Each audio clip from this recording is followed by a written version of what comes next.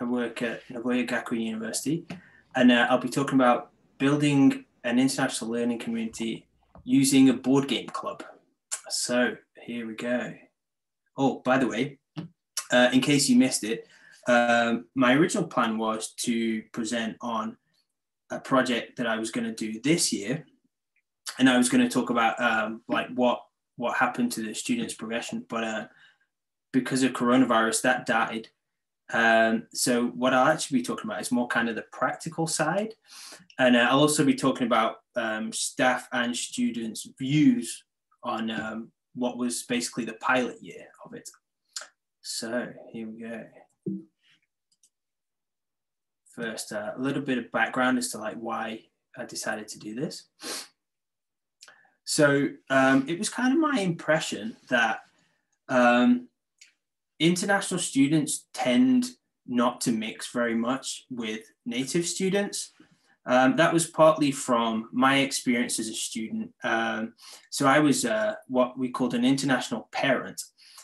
And basically that was you, you took an international student kind of under your wing and you were kind of like a, not a tutor exactly, but kind of like a someone who was there for them if they needed help. Uh, in theory, so I was a parent to a, a Japanese student, but um, we had a little bit of trouble communicating uh, because I didn't speak any Japanese at the time, and uh, his English he spoke a little bit of English, uh, but also like there weren't really any kind of um, big opportunities to see each other. Really, it was like um, I'd email him now and then saying, "How are you?" He'd email me back saying, "I'm good," and that would be kind of it. You know, um, there there wasn't much in the way of like uh, um, arranged social opportunities, which was partly my fault, right? I probably should have been more proactive. Um, and then, as a as a lecturer, I like I kind of noticed the same thing again. Um, so at my previous university and my current one, it kind of seems like the international students kind of end up in these like little groups and they just kind of walk around together. And um, they never really seem to mix with the Japanese students, which I always thought was kind of a shame, right? Um, so I called it the foreign bubble. Um, so again, maybe it's a language barrier thing. Uh, I thought maybe it was an opportunities barrier. Maybe they like didn't have chances to mix. So um, I happen to have a friend who's also a lecturer and uh, at one of these universities and was also an exchange student at one of the universities. Um, she's British. And this is what she said. She said, if they don't have classes together, don't live together, and don't hang out in the same places, it's no wonder they don't interact much. I thought, hmm, yeah, harsh, but fair, probably yeah so um, just um, thinking about um, our students they they have classes that are separate from the japanese students. They have their own kind of international classes. Um, they live in this kind of international dorm uh, which is only international students. Um, and they don't really have a lot of like um, like mixed events going on really. So they, they're kind of almost shoved into separate bubbles to begin with. So um, the whole goal of this this board game project was to provide students with the kind of more uh, frequent, informal um, opportunities, and uh, also I what I thought was important is that opportunities that um, the students are creating and arranging uh, with each other, rather than it being kind of a, a pure top-down thing with like staff saying do this thing and do this thing, you know. Um, and hoping that through that they'll they'd form uh, stronger bonds with each other um, and hopefully also improve their second language abilities too, uh, both the Japanese and the international students. So um, here's a little bit of background research for you. So um, Willis Allen uh, looked at study abroad students' uh, goals for when they study abroad, and these two are the two common ones. So uh, improving their second language ability and learning about the culture. So two, I think, perfect goals for exchange students. But uh, according to Garcia Mayo, who was looking at um, EFL exchange students in learning Spanish, uh, found that they tended not to integrate, and that probably because of this, uh, the students retreated into these these bubbles again over time, where um, they ended up just kind of separate from the the um, the native students, let's say. Um, but uh, the good news is when they do integrate, um, they they're happier and they're less likely to be homesick. So integration does happen. It's just um, maybe there are some issues that uh, sometimes get in the way. So Kudo and Simkin made this great little uh, list of four, what they thought were four key things to allow integration to happen well. So they were looking at uh, Japanese exchange students living in Australia, and they thought uh, frequency of contact, similarity of personality and age, second language skills, and the receptivity of other nationals, um, in this case, meaning the Australian students, to actually kind of mixing with them. So um, I thought, okay, uh, let's apply this to, to my current university. Uh, frequency of contact.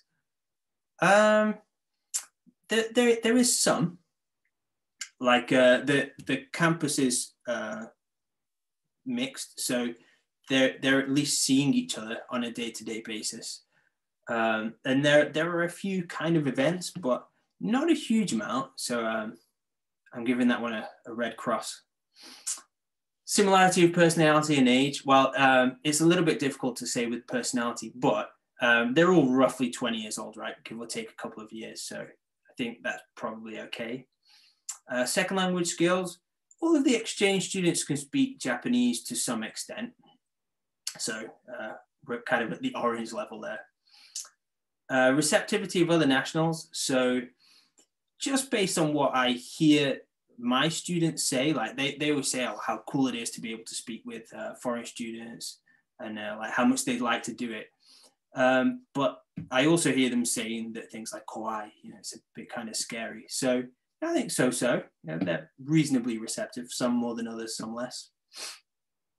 So um, looking at this, I think like the the key issue probably uh, holding things back is probably the frequency of contact.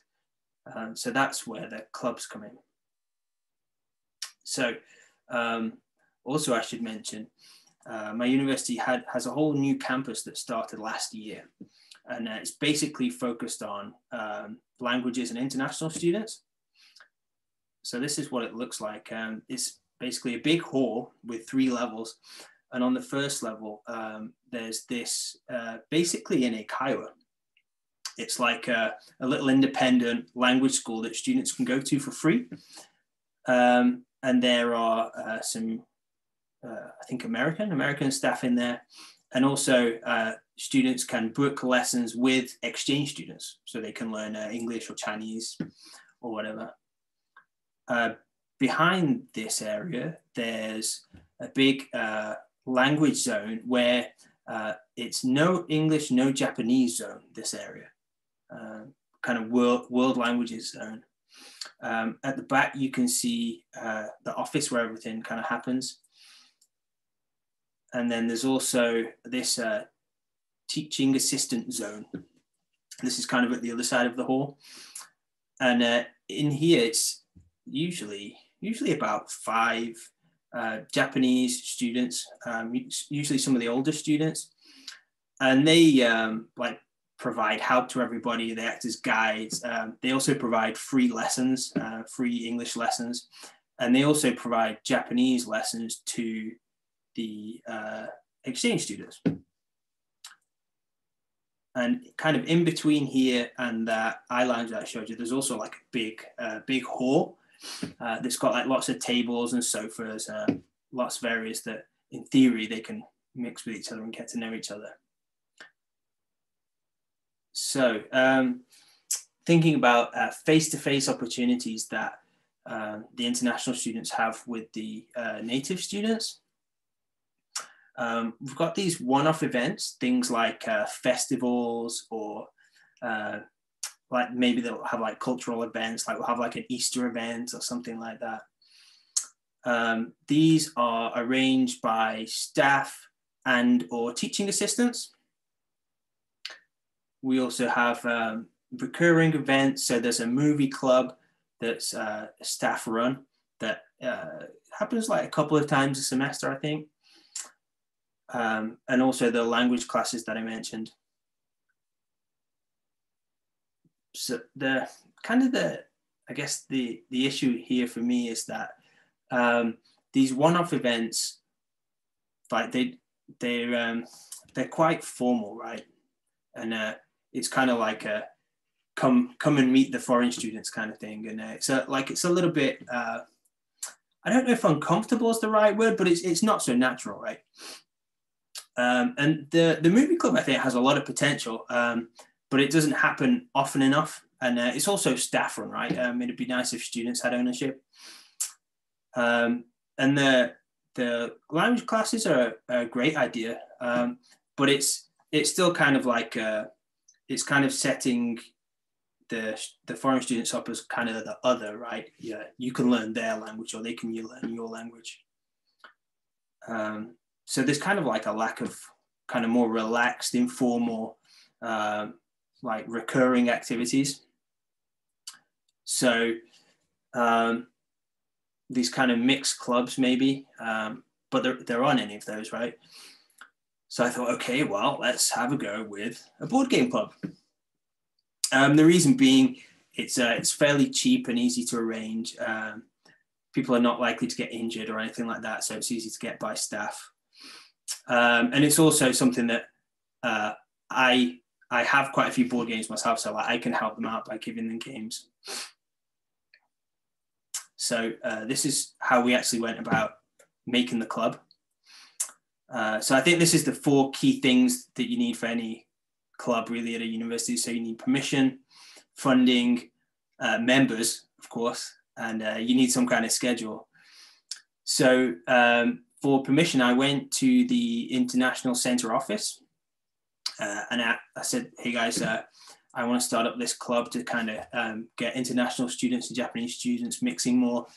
And they said, great. Um, as long as it's not super expensive, we'll give you some funding for it if you want. Um, and then I went to the uh, that kind of Eikaiwa area and had a chat with them about it. And they thought it seemed like a good idea, and they said uh, we could use their room.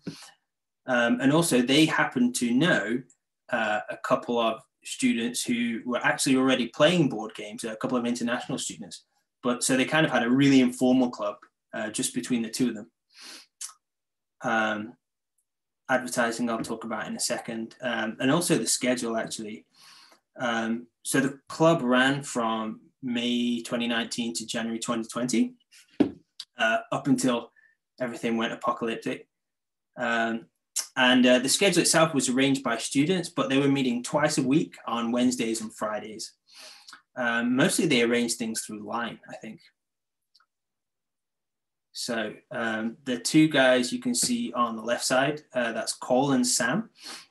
So these were the two guys that I mentioned that were already kind of playing board games with each other. And uh, I just kind of walked up to them one day and said, hey, how do you fancy founding the first international club that we have in the university and they said yeah sounds good um, and they they made this poster for me so then um, i put this up at the end of my classes and uh, i also had a chat with a few a few other staff members who also did the same thing so it was going up in uh, a few economics classrooms uh, i'm in economics i'm in the economics department but i'm an english teacher so it went up in a few economics classrooms. Uh, it also went up in a couple of English classrooms. And that's how I met the guy on the right, Sota. And he became the club captain. And uh, that was actually really important because um, I don't know if this is uh, true of every Japanese university, but at our university, in order for a uh, club to be an official club at the university, um, the club captain must be a Japanese student.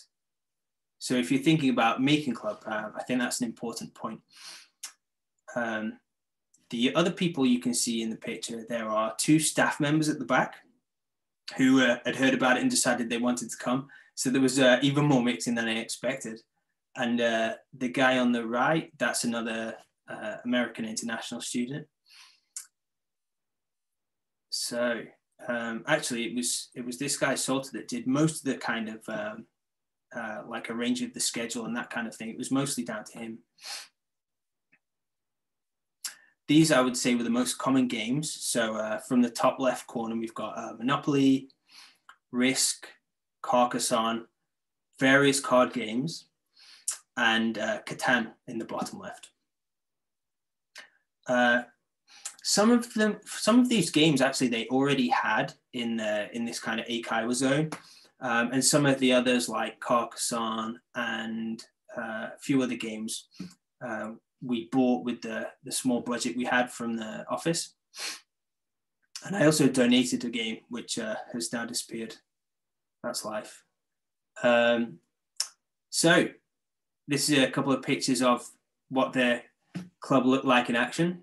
So on the photo on the left, you can see Sota again. There are uh, two female Japanese students.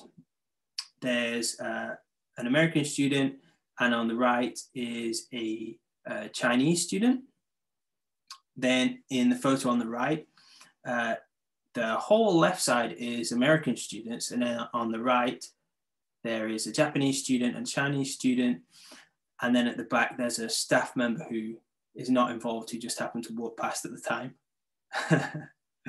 so um, just based on these photos, I think you can get get a good idea of um, what the club actually looked like. Um, I was pretty happy with um, the mixing that was going on. Um, there was there was always a good combination of um, Japanese and foreign students.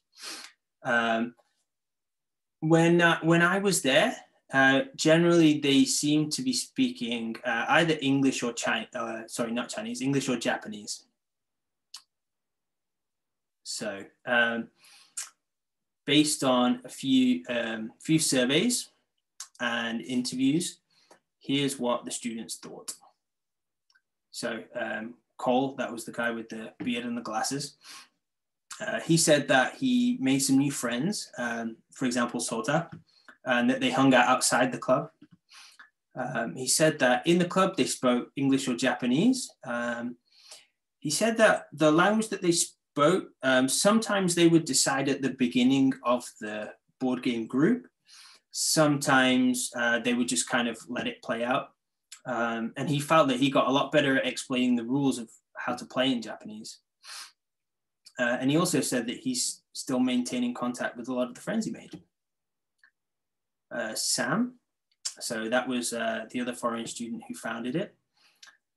He said that the club itself wasn't a major part of his social life. He had a lot of other stuff going on, um, but he did enjoy that it gave him like a relaxed atmosphere to practice his Japanese in. Uh, he found that he learned a lot of uh, vocabulary, mostly related to board game stuff. Um, I think I've already mentioned that it was relaxed. And uh, yeah, he says also that he still maintains contact with the the friends he made in it.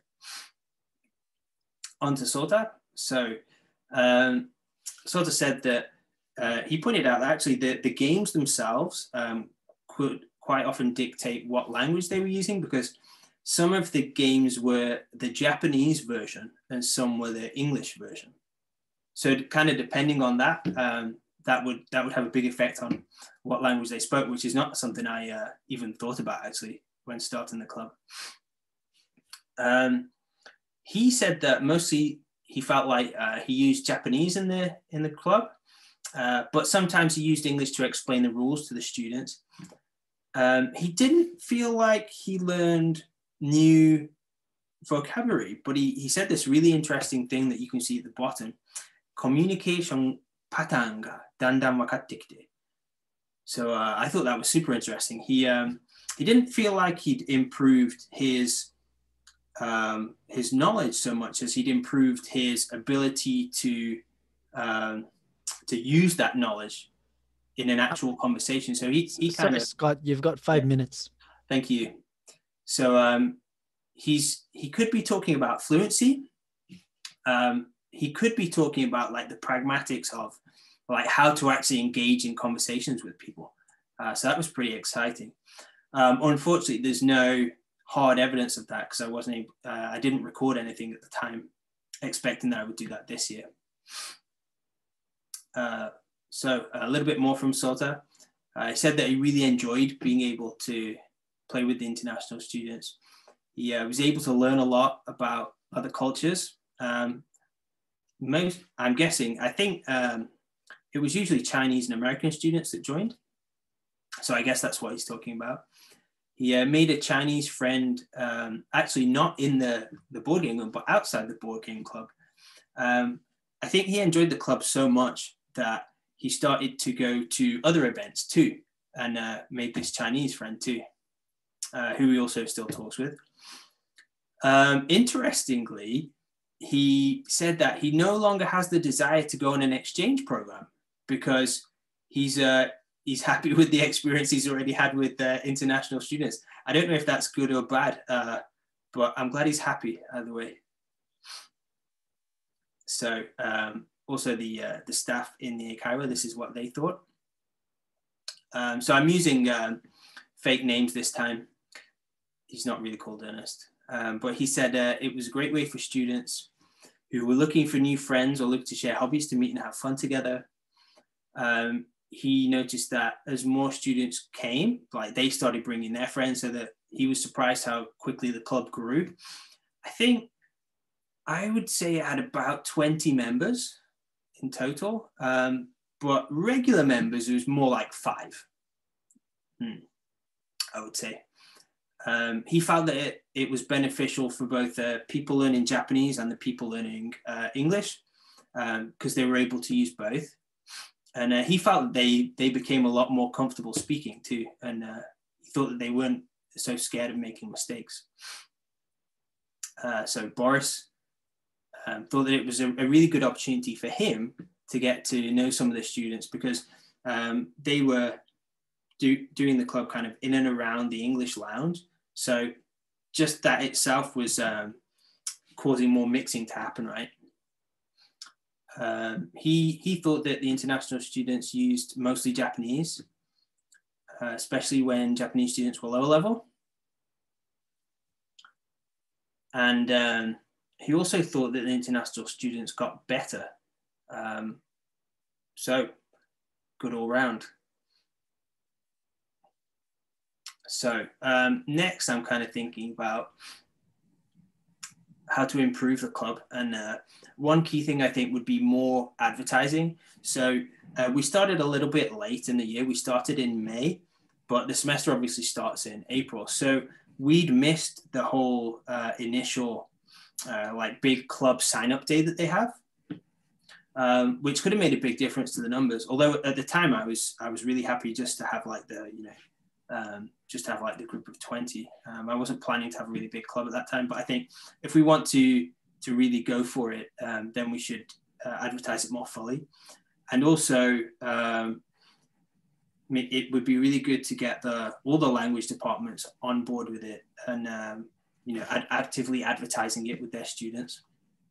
And uh, we were also talking about um, not necessarily just the board game club, but um, potentially giving students um, bonus points in some of their uh, classes, for example, their English class, if they um, spend more time at these uh, clubs and events.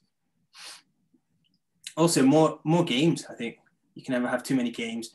Uh, most of the games were kind of competitive, so uh, I thought it might be nice to have some um, maybe more kind of collaborative type games, as not everyone wants to kill the opponent, you know um, and also more clubs. So we've already got this movie club that I think right now is a little bit underutilized. Uh, I think if we can make it a student-led club and maybe you know every month or even every week, uh, that has a lot of potential. I was thinking maybe a reading club. Um, if anybody has any other ideas for clubs, please share with me. I'd love to hear them. Um, and also, uh, it would be really interesting to have the international students join the pre-existing clubs that the Japanese students are in, like you know the sports clubs and the music clubs and all that kind of stuff. Um, it might not be necessary to make a lot of new clubs. It might be more important to integrate them into the clubs that already exist. Thank you very much. Uh, that's me. And if you'd like to check out those uh, references, there they are. And also that's where I got the images from. So thank you. Okay, could everybody unmute their mics and just give a good round of applause for Scott? Thank you very much. Um, now the time is three o'clock. Uh, there is no session following this, so if anyone has any questions, uh, we have time. If you'd like to stay and ask a question. Uh, yes, Professor Dwayne, I think that is. Yeah, you can just call me Dwayne. Dwayne? Um, Dwayne. very interesting stuff, and it's nice to see what you're doing in more detail at your site. I just wondered, um, are you bringing any insights from that um, club into your regular classes? Is there any Oh, bridging? wow, that's a good question.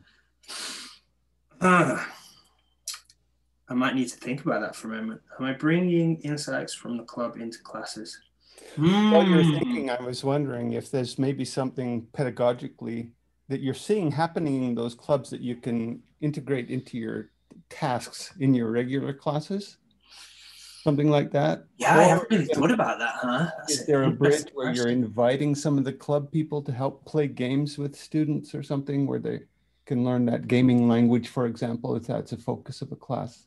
Yeah, that might be an interesting thing to do. Yeah, I haven't thought about that at all, Yeah. actually. Okay. Mm. Yeah. Wondered if there's any overlap going on there. Mhm. Um, so had things worked out this year in terms of face to face, because I got kind of a better relationship with the international students, I would have had. Um, I was going to ask them to join my classes sometimes as like teaching assistants. Mm. Um, that's something for the future. So I guess that's kind of a thing I got from it. So Miguel, you were you ever an international student? Did you ever have this experience? Uh yeah, I, I I was an international student in Gifu, and um, the way we met um other Japanese students, we had a Ryugakusei club, and we would just hang out during lunchtime and just have a picnic together if the weather was good or have Mm. certain events. But it, it, it like what Scott said, it was this sort of I don't know, like show and tell type thing, like oh, meet the foreigners. So Uh, right. if that's the main mo you, you get a lot of pushback but if it's just do something together i think that's a great opportunity to start something much more informal and such more easier for people to join Mhm. Yeah, it sounds like you'll get a lot more people coming, at least in the beginning, if they get credit. Or maybe that, Yeah. that's going to be just to do that. But maybe also the word gets out that it is a chance to connect with people, and and there's been good relationships come from Mm. that. Yeah, um, I was actually um, I wasn't sure how many people would join to begin with. Hmm. Um, so it would for a first year, it was kind of the perfect number because it, it was it was enough that the club was like lively every time, but it wasn't so many that they had you know like forty people joining and not. Right. right. yeah. Chaos. yeah. Um, so uh, we'll definitely need more games if we're going to expand it in the future. And you, you, are we are we okay, Miguel? Another yeah th- th- there's or- nothing coming up we're free to Oh, just okay. chat until the plenary So- if you if you need to go to another um, Nah, I'm session, Scott, or an- anybody needs to, um, I was just wondering. You said from the beginning that things happened, so this became more of a practical presentation. You're talking about, Mhm. you know, what's going on basically, but Mhm. you were hoping to do actual research Mhm. on this. Mhm. Um, could you just say a little bit about what your plan was, what data sources you were thinking to use? Yeah, yeah. So um, I was hoping to um, a so so I I presented what uh, three surveys and one interviews worth of results. No, four surveys and one interviews worth of results. Um, I was hoping to survey um, all of the students who actually came to the club, but I couldn't get in touch with them because they'd all gone home. Hmm. Yeah, I just happened to, um, I, you know, I was able to get in touch with the founders and the captain um, because we're, we're on um, closer terms, you know, like I've got their email addresses. Um, so I was hoping to do a lot more in terms of surveys, and uh, I was also hoping that I could record one or two of their game sessions right. and actually like see what's going on, you know. Um, like I mentioned that Sota said how he felt like he kind of got better at interacting with people in English. Uh, it'd be really interesting to see like what's actually happening. Yeah. Mm. So you didn't have an opportunity to video you and No. so you don't know how they're going to react to that request or No, yeah, they might say no. Um, um, are there rules at your university in that area that it couldn't be recorded for example Uh, so, uh, in terms of the ethics at my place, it's a, it's um, you as long as it's out of class, it's generally okay. As like you're not forcing them to do things in order to get a grade, is the thinking. Um, so as long as it's voluntary completely, then it's okay. can you imagine how valuable that would be if you could document sota's gradual progression into being able to be more engaged in what's going on Yeah, yeah. would be brilliant yeah. I- I don't know Even what- just one class to see like when they're using Japanese and when they're using. No, right yeah, I agree. You know, just having practical experience using the language outside of class, that's that's invaluable in terms of pragmatics. Um, Mm. You wonder though like if you are recording a session if you know what i mean like if you would like alter the results knowing that Yeah, there'll be yeah. oh, oh oh we have to use english now let, let me get my dictionary i don't know what to say like Yeah, yeah. so you know it, it is the dilemma right it is the conundrum of being the fly in the wall in this situation Yeah. right yeah, as soon as you observe it, it changes, right? mm-hmm. Um, maybe, um, maybe one possible way around that would be to um, get them used to being recorded. So, like, do it for a, you know, several weeks or something. But um, I guess the tricky bit is that unless you isolate a group, there are always going to be new people each time. Um, and then it becomes a bit more research and a little bit less of a club for them. But it just Mm. seems um, such great peer models. If you have, Mm. for example, some interaction where there's language being used, gaming language, that you could Mm. take to your regular class and say, hey, because we often make games in our classes, right? Or we Mhm. use some kind of simple game Mm. um, that you're looking at. But if you have a, a model that you can bring in video model and say, hey, look at these native speakers or whatever might, you know, be Yeah. interesting for those students if, if you can't bring in the, the people live. And he also like um, I think in their mind they thought they were learning like how to talk about board games, but I suspect if you actually look at what they're saying, they're probably just looking at how to talk generally. Mm-hmm. Uh, like a lot of that stuff, like you know, even like explaining a board game, that can you know that can be transferred to explaining anything. And, and how to jump in when someone moves one space too far, right? There's going to be a kind of motivation to yeah, stop, right? If, if Yeah. Um, there, there's a really good board game I, I used to play with my students when I was a Kaiwa teacher called The Resistance. Maybe you've heard of it, Scott. there is is is that the one where like it's it's a card game where you betray people? Yes, yes, yes, yes. And um, it's it, it's kind of interesting because you have to lie to be good at this game. and You have to like reason as well. Like, why did you do this? I think you did that. Why would you do that instead of doing this? And right. I, I think that's just not, not even just an English skill, but a language skill that students could really focus on. Because in my experience, in my experience, a lot of my students are terrible liars. So they need Uh, to play the resistance. Right. yeah, yeah, yeah. That's, that's a good one. mode and they, you know, trying to impress the teacher, right? Always saying what they think they want you to hear, right? Right, Wouldn't right. be- Because isn't role play kind of acting anyway? And so if they're they're gaming and they need to put on this role of liar, it's it's kind of great because they're free to lie and practice lying. that aspect of language, I guess. Um, by the way, guys, I'm on the hunt for other club ideas. Just wondering if you have any. Other club